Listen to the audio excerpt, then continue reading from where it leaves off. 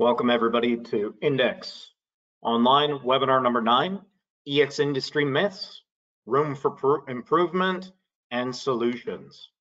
Really do appreciate all of you attending. Just wanted to show everybody our faces and give you an idea that uh, we really do appreciate your time. Okay, I'm going to turn off the webcam now so that we you guys can concentrate directly on the presentation. Okay, so my name is Michael Merrington. I'm the general manager of Index. Now, what is the need for hazardous areas? Well, we've experienced disasters. So an example would be Piper Alpha on the bottom and, Mont and um, Macondo, Deepwater Horizon. Now for Piper Alpha, the key findings were why, why do events like these happen? Well, poor quality management systems or poor quality systems of communication, occupational health, safety, and environment, poor management of change, poor permit to work systems, poor quality of maintenance, of integrity, inspections, and design of electrical and instrumentation systems, hazardous areas, cables, basically human factors. So if we ask you the question, what is the intent of all these different ISO, International Standards Organization, ISO 9001, quality management systems, ISO 14001, 18001, 45001. What is their purpose? So this is multiple choice, don't be shy. We're at about 43% voting. I'd like to get up to 70% and close. Give another 10 seconds. Okay, closed. Only 57% shared uh, voted, so I believe people are scared probably because they're unsure of what these systems are. Basically, they are quality management systems for different fields, and they're just standardized all the different quality management systems for these different fields. 9001 is quality management systems, 14001 is environmental, 18001 is for occupational health and safety. Then there are other ones. They are means to standardize quality management systems because the biggest factors is always the humans.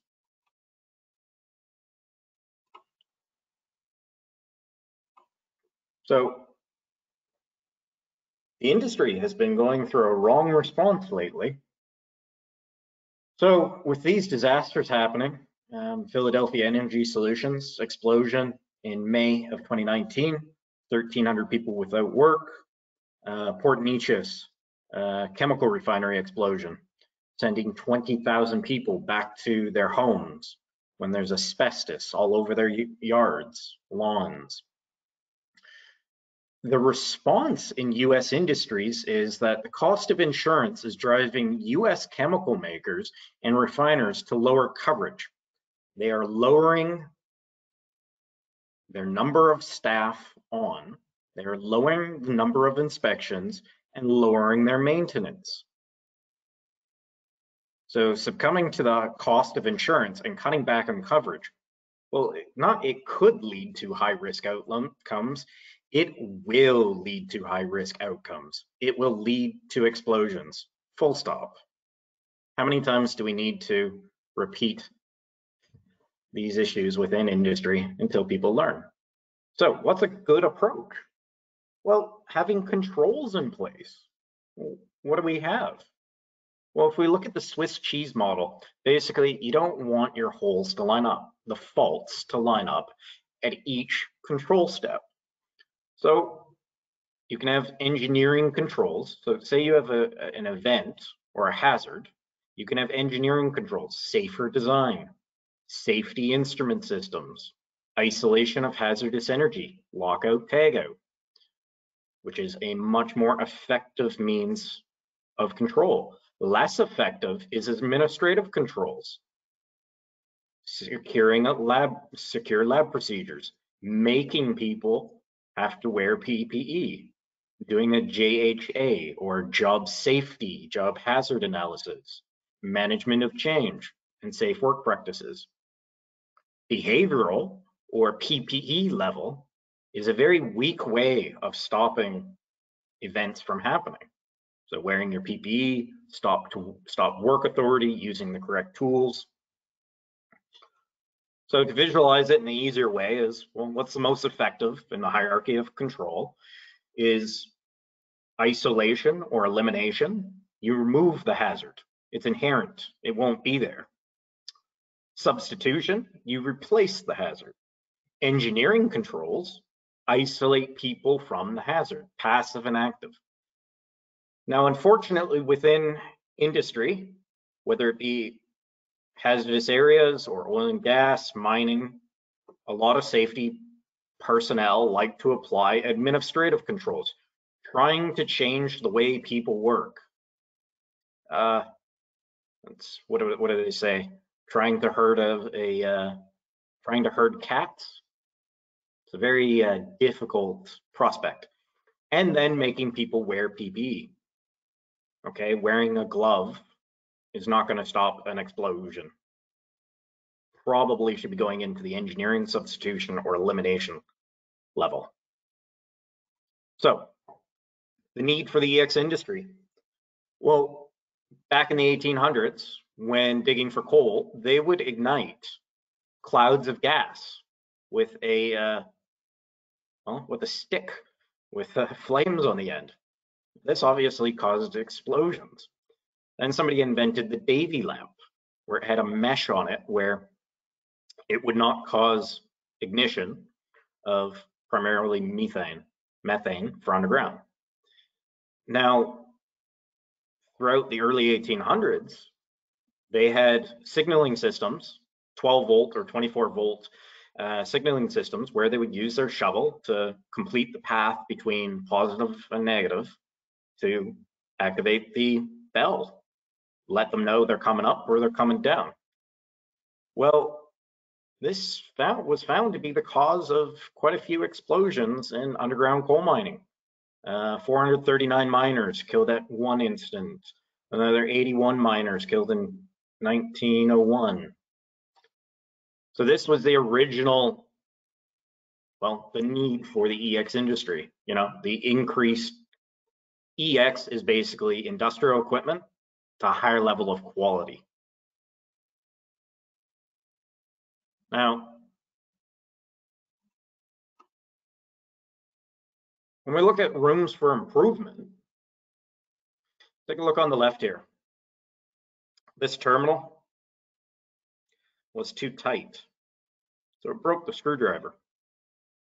So actually the termination was incorrect tool within the industry exists for how you're actually supposed to tighten terminals, a torque screwdriver. That's a good, well, change management, implementing of a good quality management system would be use the correct tools. So if the vendor, manufacturer, EPC, or end user provided their workers with the correct tools, things like this would be lessened. Well, what else do we see in the industry? We see that manufacturers ship devices with plugs, blanking elements, glands, without any EX markings on them. Is this acceptable? Well, to dash zero general requirements, even for very small pieces of equipment, in the case of very extremely small EX equipment and extremely small EX components, there are no, eh, where there is no practical space for marking, I would digress and say there is space here. The mark, it shall be, if there's no practical space for marking, a marking intended to be linked to the EX equipment or to the EX component is permitted. This marking shall identify, as applicable, and shall appear on a label provided with the EX equipment or the component for affixing adjacent to the EX. So what it should say is on the actual EX label of this instrument, it should make mention of this plug, not back on its data sheet. This causes a lot of delays in industry. So a manufacturer, perhaps having a cheaper plug causes issues. Yeah, because the amount of man hours for the end user in the EPC increases significantly. Now, even for EXD, where cable glands are an integral part of the enclosure or specified for the enclosure, those shall be tested as part of the enclosure concerned. So if it's part of it, it doesn't necessarily have to be marked itself, okay? This plug doesn't necessarily have to be marked, but they have to make reference, yeah, to it on the marking of the equipment. They didn't do it in this instance. The easiest way would be just mark the plug. Now, here's a question for you guys. If we were talking about plugs without markings, how about shipping plugs? So plastic plugs. Will they cause issues in the future?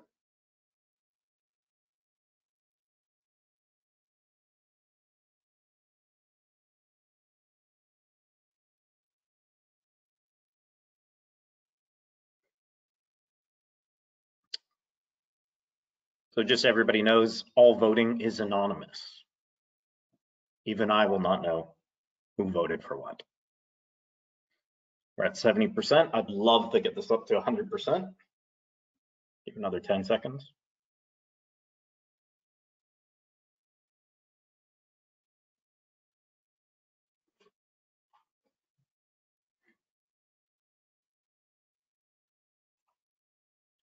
Okay, I would like to say that 23% of you are causing further issues in the industry.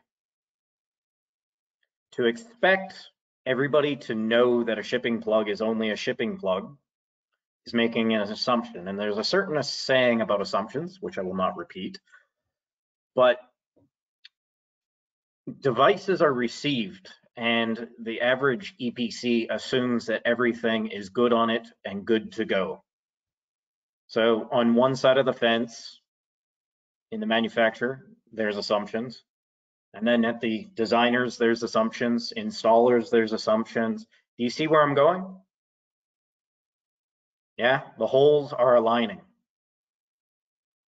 We've already shown plenty of devices without glands installed, without plugs installed, or shipping plugs. Because remember, a shipping plug uh, on an EXD device, that's a very dangerous prospect.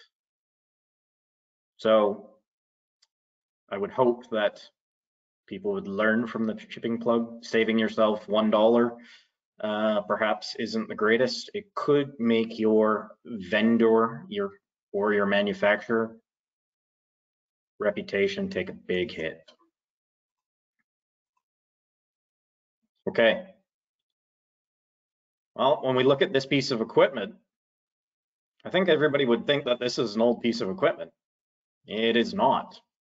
This is a brand new piece of equipment. So what do we have here?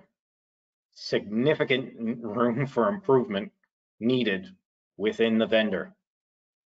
Yeah. Well, what do we see here with other manufacturers? Receiving of instruments with painted earthing points. Within electrical instrumentation, control, well, all industries, earthing bonding is extremely important. It helps reduce the sources of ignition. Once again, unmarked plugs, or perhaps just a little HF mark on it. But is that HF mark on the EX data plate? No, it was not. rooms for improvement. Cable glands. Everybody likes to say they're easy. Why is it that there is always significant issues within our industry? Because people make the assumptions that they are easy. Once again, the vendor, is there perhaps a lack of leadership? Perhaps they're managers, but maybe they do not have the competency to understand what they're looking at or other human factors. By the cable tags being right up against the cable glands, there is now no way to back the cable gland off for detailed inspection, which is a requirement. What's the significance of the armoring? If it is not properly terminated, there is the chance for ignition. Also, if there's a cut in the cable, the whole point is that the fault, yeah, any electrical current will hopefully travel through that armor into the gland through the device and go to the equipotential bonding, go to the path of least resistance not through a human or through a piece of equipment, and hopefully not cause an ignition. So what can you do? Be a leader, not a manager. Apply quality management systems. It's not hard. Show people pictures of good installations. Then these gentlemen and ladies did exactly as they were told, and they learned why it was better. When they see something good, they repeat something good. When all they see is something bad or poor quality or lesser quality or average, they'll just keep repeating that. So there's ways to do things better. Just show them pictures. Yeah. So let's ask you a question after you saw this for just a moment.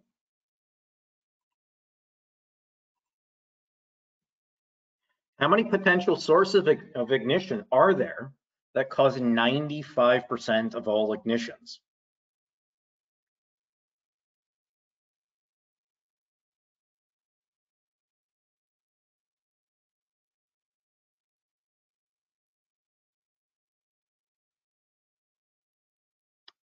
So 95% of all ignitions in any industry, gas, dust, vapor,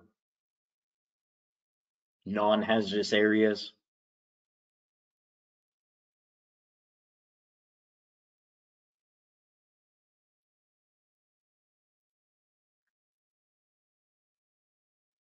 Sixty-five percent voted. I'd like to get a lot more on this one.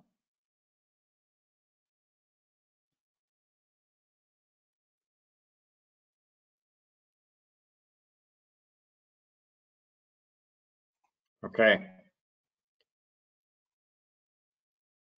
I'd like to say that this is, um, guys, there's 13 or more sources of ignition.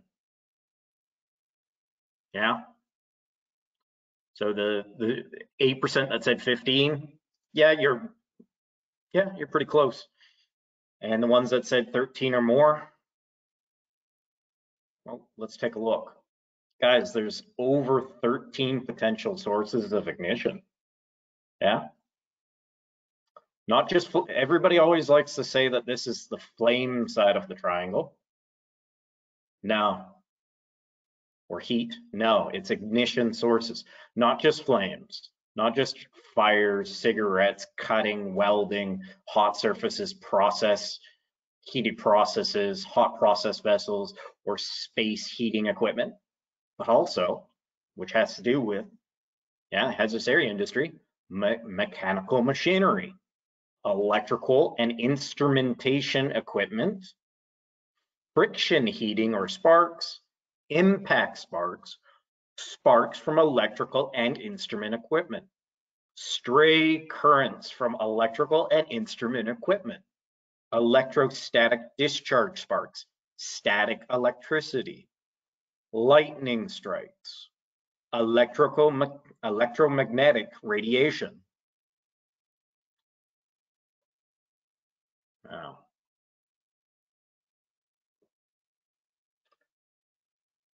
Also vehicles. Yeah, we're going to show evidence of all of this. So, ignition sources, mechanical machinery, well, 2008, Georgia sugar refinery explosion. 14 dead, 36 fatalities. Sugar dust. They figured that a conveyor was buildup of dust and the bearings overheated and caused a flame. Yeah, caused ignition of sugar dust. So why is there ATEX and IECEx uh, rated mechanical machinery? Because it is a potential source of ignition.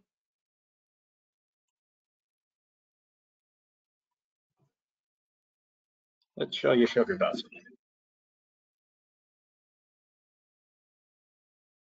Remember, a flame is at a lower temperature than static electricity. Okay.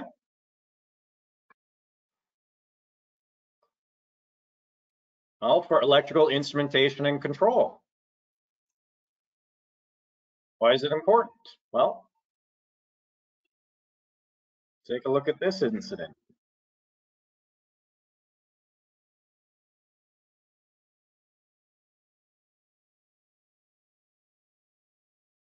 Look at all those sparks going on.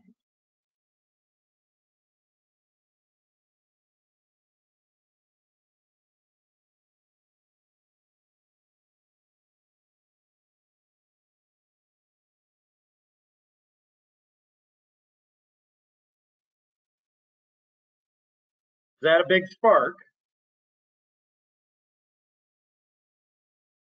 I'd say that's a big spark. Now, what do we have?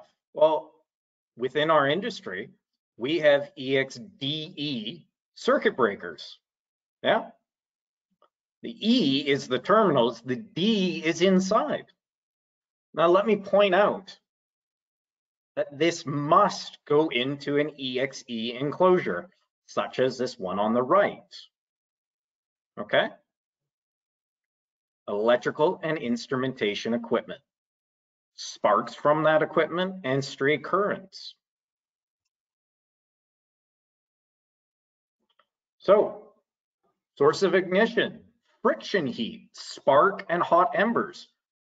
Well, in food, wood, any industry where there's dust can cause explosions.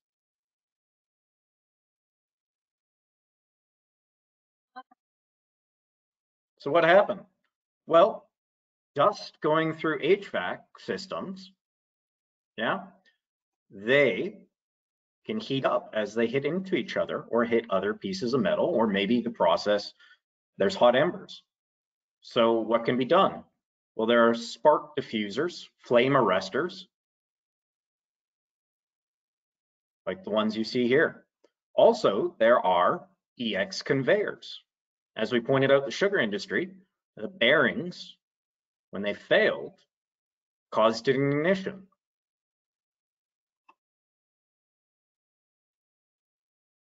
Well, earthing, bonding, grounding, and shielding systems.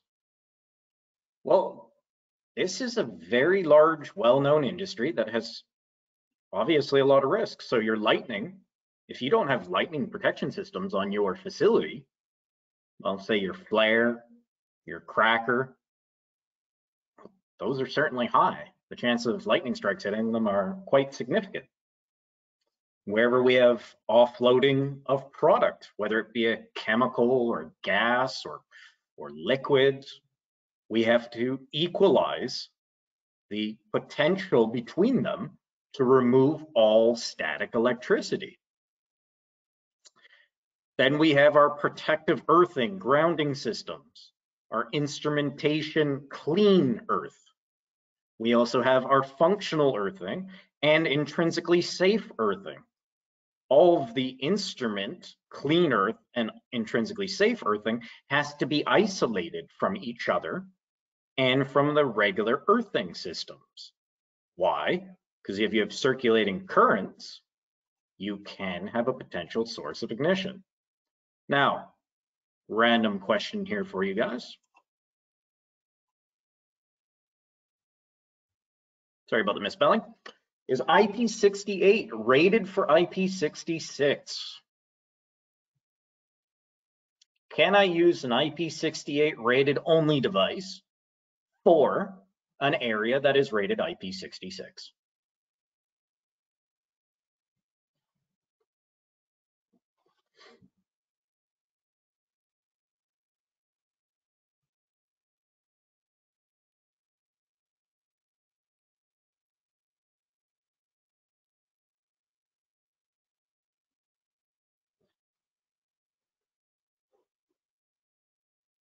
Seventy-two percent voted. Okay. Thirty percent of you. No, you cannot. IP68 is not rated for 66. Please watch Index Online webinar four and five. Within industry, we've gone through this many a times. Six is only rated for one to six. The seven and eight for water for immersion is only rated for eight is only rated for seven and eight, and nine is only rated for nine. Okay.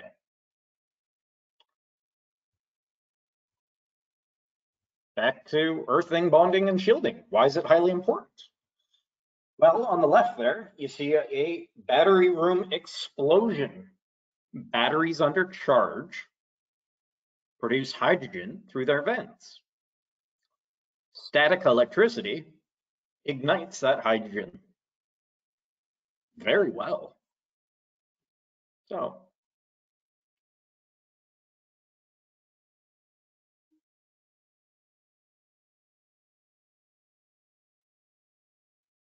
And why did this explosion happen?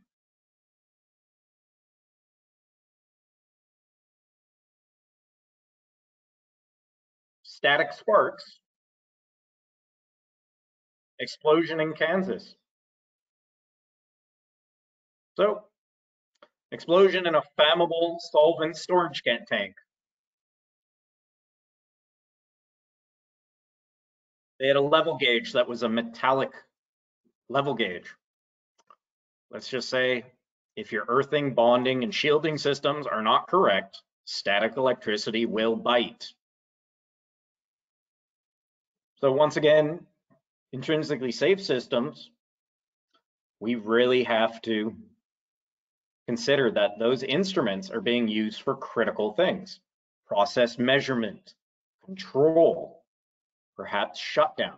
So your plant and personnel integrity systems safety instrument systems, and fire and gas. Now, what about vehicles?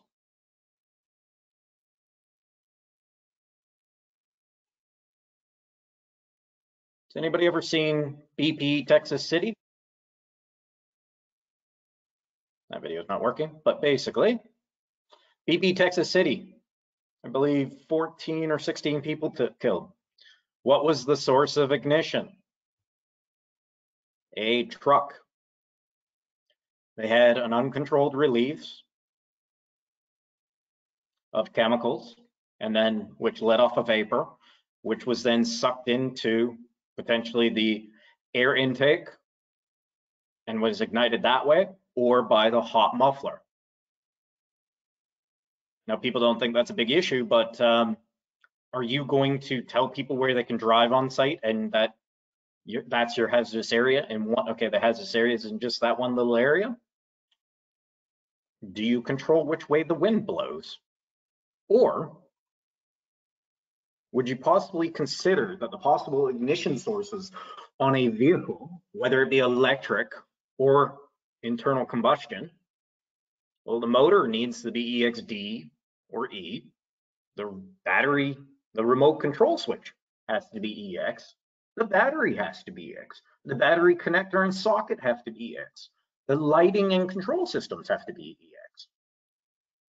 The electrical installation is a potential ignition source. It has to be X.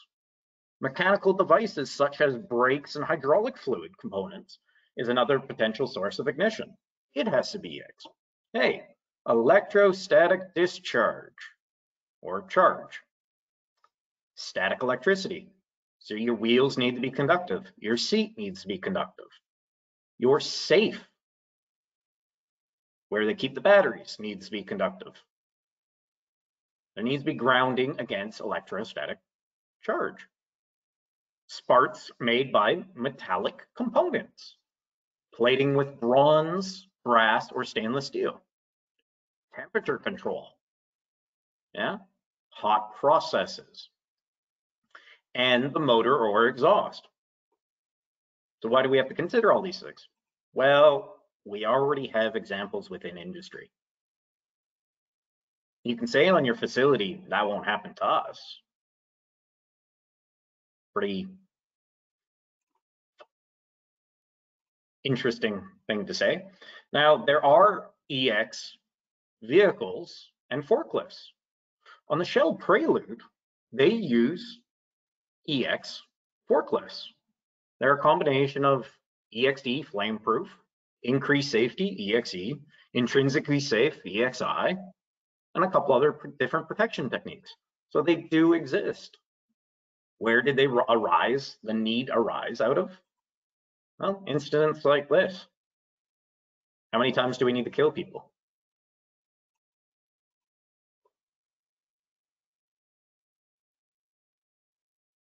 Now,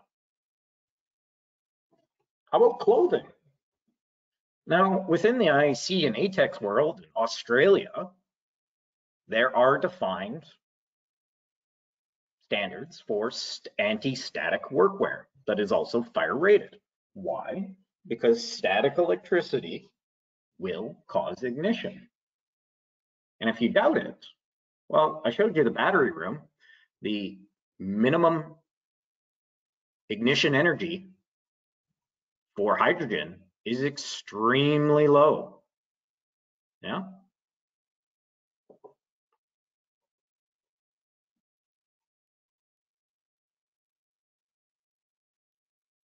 So when we look at the static, you can see that all it takes is one millijoule to generate static electricity, while the igniting current for hydrogen is significantly below that. Okay. So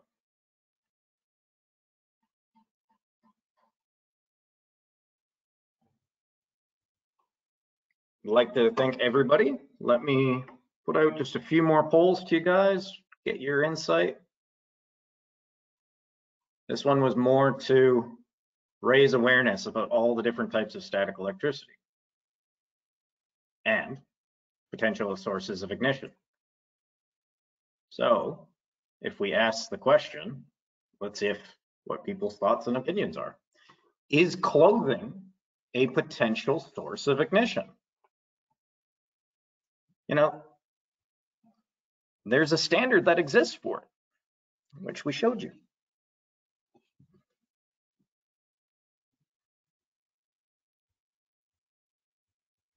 Sixty-three percent voted.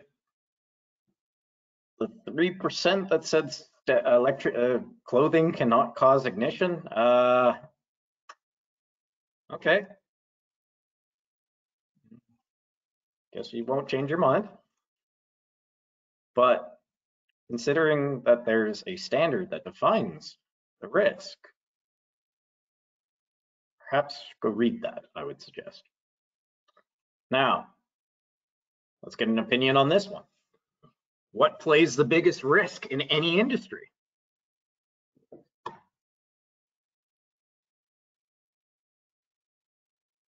If you read any of the CSB, so the um, safety board OSHA in America, or the report on Piper Alpha, or on uh, Macondo, or on the Montor Montara oil disaster, or the Georgian uh, sugar refinery, or that crude oil carrier that just ignited yesterday in Indonesia. There's going to be one factor that is the biggest risk.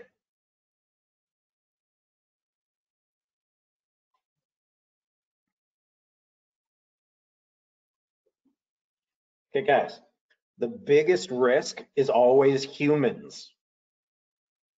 They install it wrong. They design it wrong. They don't do enough maintenance or they don't do enough inspections or don't do it well enough or don't do it at all. Why does this happen? Because humans like to say, that'll never happen to us. I've never seen it happen. I've never seen it happen. So if a tree falls in the woods and you do not see it or hear it, it did not fall. Same within our industry. Now,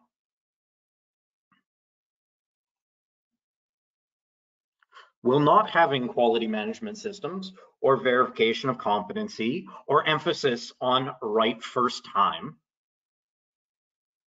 cause potential sources of ignition?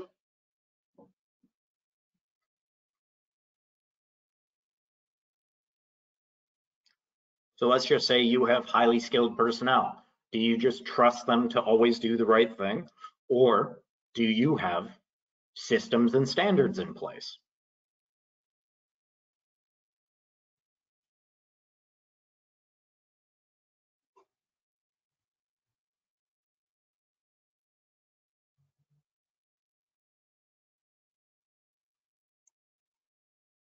Okay. So for the 8% that said no, um, every mechanical, electrical device you use throughout your life has been designed to a standard, has quality standards applied to it. Have you ever flown on a plane? Have you ever driven a vehicle? People have died for these standards to then be applied.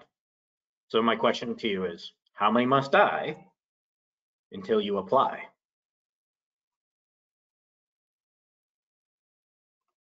Here's one for manufacturers or EPCs or vendors. Will poor instructions or overly complicated instructions cause issues for EPCs and end users? And I would like to add, could it possibly raise potential sources of ignition?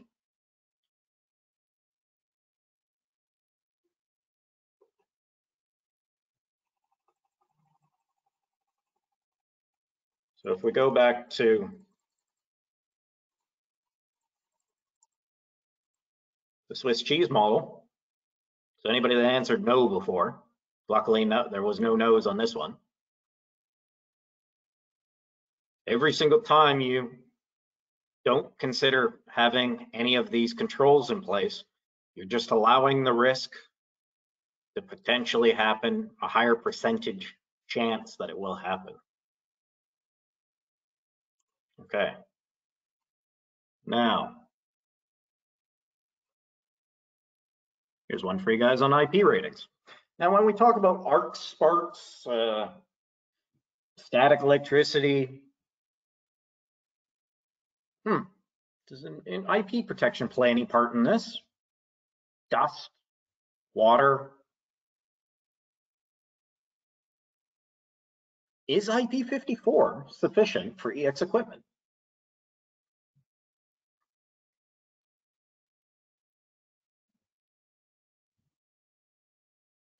Water conducts electricity. Dust conducts electricity. Water and dust can cause electrical sparks and arcs.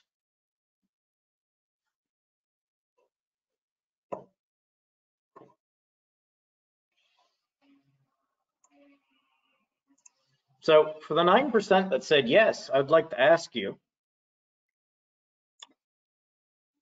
Is it sufficient full stop or must you consider environmental factors? That's directly in the standards. Also, the standards are only a minimum. So the bottom three answers were correct. Please consider that water gets into everything. Just because a manufacturer does not hear about their piece of equipment failing does not mean it hasn't. Yeah. Trees always fall in the woods. Water always gets in the equipment. Just because you don't hear about it doesn't mean it has not happened. Now, when we talk about how to mitigate all these risks, well, there's one set of devices that play a major role in the industry. Instrumentation. So what roles do they play?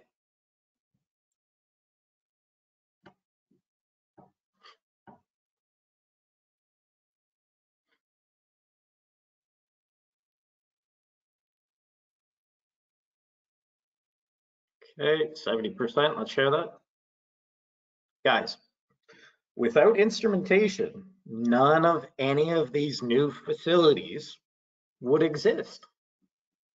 They give us measurement of the process, control of the process, shutdown, emergency shutdown, venting to the flare. Without, if you don't if you can't measure what's going through the pipe, how do you know when it's overpressured or underpressured or what the temperature is? So how would you know the pressure, the temperature, the flow, any of these things without instrumentation? You wouldn't. Instrumentation is highly critical to plant facility safety and integrity and personnel integrity and safety. Fire and gas systems. Hmm safety instrument systems. Yeah. Okay. So we'll open it up to questions now. If anybody has any questions, please ask.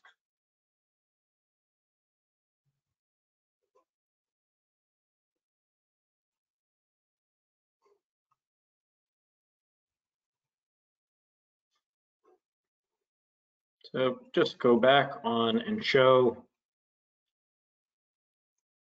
Examples. So terminals, tighten too much, poor quality management system. Guy was just using his hands, or maybe a screwdriver, or um, electric battery drill, who knows? Okay, so we have a question. Can you explain continuous supervision concept? So continuous supervision is a concept that some facilities implement because it's a cheaper method of doing inspections. What they mean is that they are saying that their workforce is competent, as in they are trained in all the EX protection techniques, which they are working on. And as they do their campaign maintenance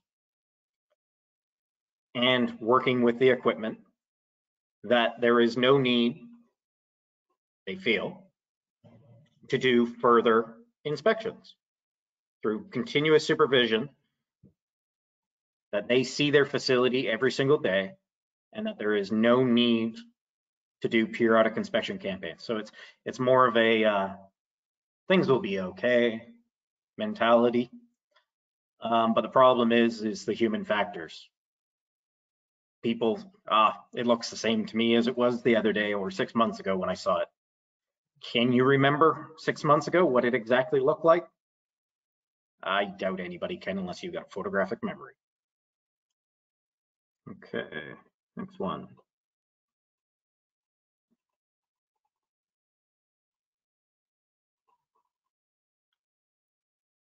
One second.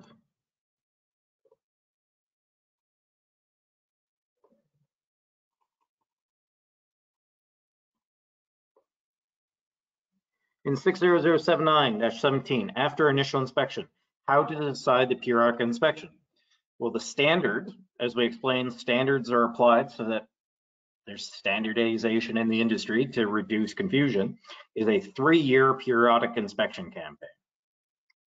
So basically you do 33% of your assets every year for three years with varying degrees of visual, close, and detailed inspections. As you find faults, you really should find out the reason why, and be proactive and perhaps predictive.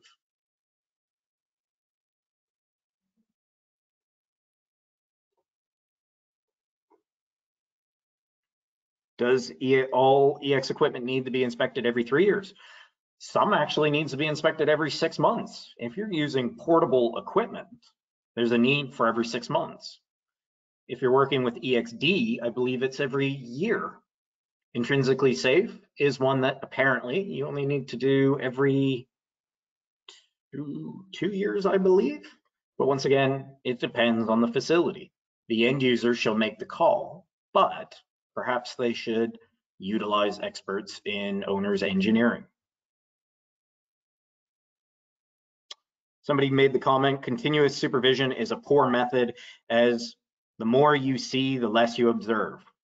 Correct. The more information you have in front of you, usually people zone out and miss the finer details. So you observe less faults.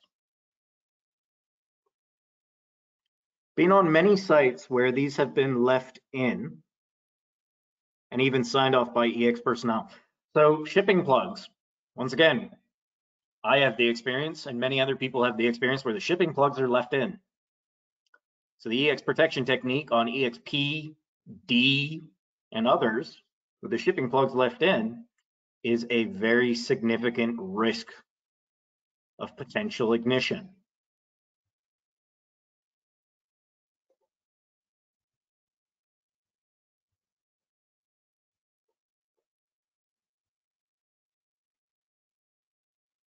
Existing sites and rezoning and change out of equipment.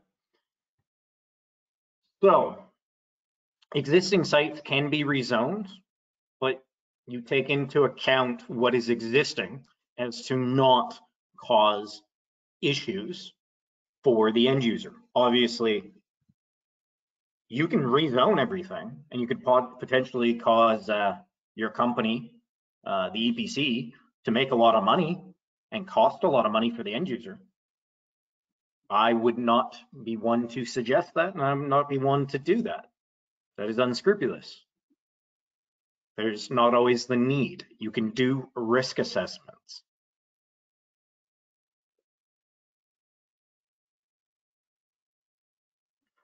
Now, when people say hot pipe work is not covered under IEC, but it is covered under ATEX. Correct,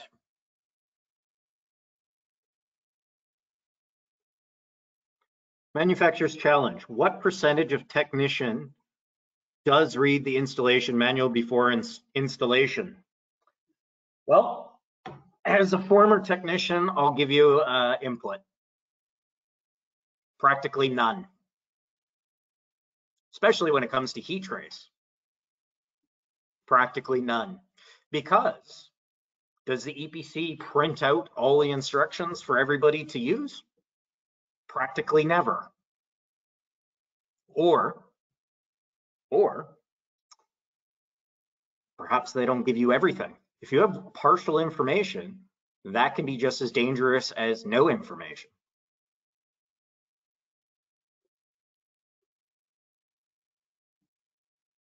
Somebody said, when I said practically none, somebody said so true. Yeah, I've worked on that person on a few facilities. That is true. What common human factors can occur when handling EXE battery boxes?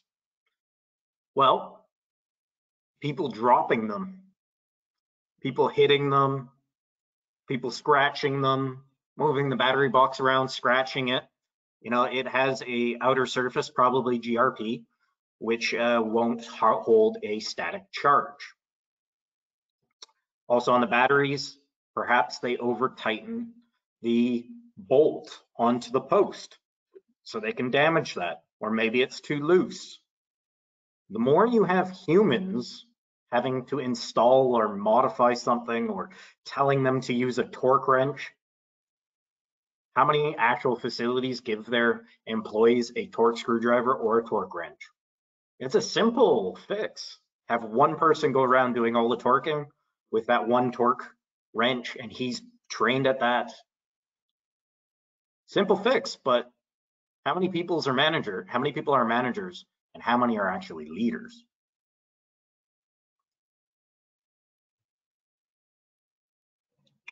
On one vessel, which I seem to have shown, over 6,000 damaged batteries on lights during construction.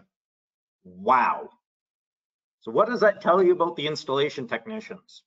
Does it mean they don't know what they're doing? Or perhaps they don't know what they're doing because they weren't given the correct information. And also, perhaps they weren't given the correct training. And perhaps the quality management system wasn't in place. And perhaps, you see what I'm getting at? All the holes are aligning because people like to say, that's not my responsibility. I'm not part of that department. It'll be okay. I've never seen a bad battery problem. Well, yeah, when the vessel leaves Korea or some other location where it was built, do you see what happens out in the middle of the ocean if you're not out in the middle of the ocean? If a tree falls in the woods and you don't see it, it doesn't fall in your mind.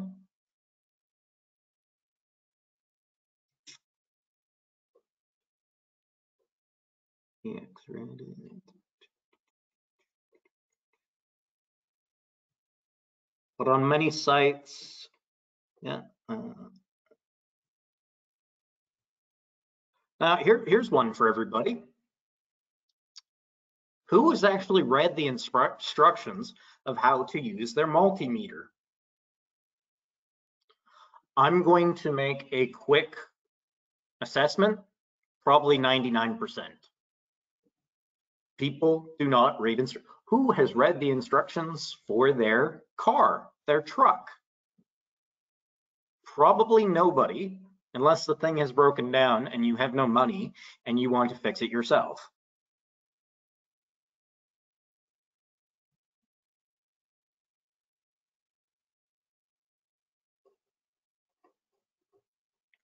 Okay. I think give another 30 seconds if there's no more questions.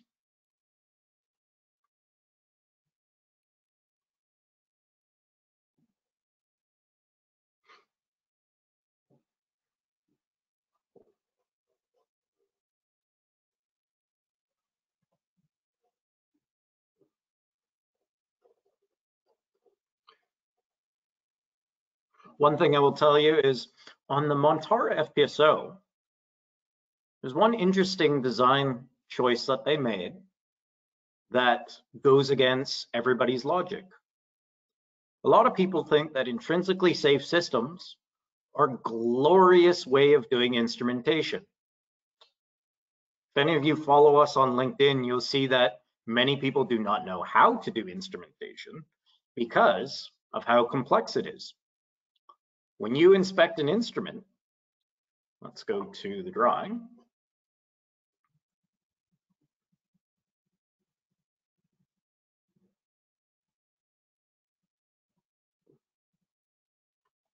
So when you inspect the instrument, you're supposed to inspect the system, the field mounted instrument, the enclosure, its barrier, its cabling, it's simple apparatus, yeah, simple devices. Now, do you have the DSD, the detailed system document with all the certificates and all the data sheets and all the information of that intrinsically safe system? If no, then you not have not been inspecting as per the standard. Remember, the standard is a minimum.